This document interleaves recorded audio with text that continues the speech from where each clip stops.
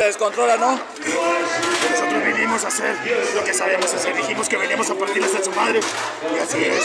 Cuando la Hardcore Crew se para en un lugar, pone el desorden. ¿Qué es eso? ¿No aguanta nada o qué? Son sus consentidos. Que saquen los campeonatos, pero esta vez no queremos descalificaciones. 9 de abril, de regreso una vez en la Guadalajara. Aquí nos vemos 9 de abril, muchachitos. Olvídense de eso. Ponen en la cintura. Que ni siquiera saben cómo se llaman. Se llaman campeonatos. Ustedes no se los merecen. Quiero esperar a los luchadores de la Tonalteca, Sniper, Abaddon.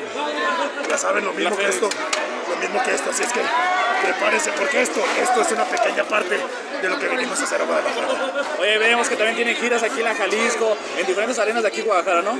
Así es, así es. Vinimos por primera vez la Hardcore Crew a Guadalajara y vinimos a quedarnos.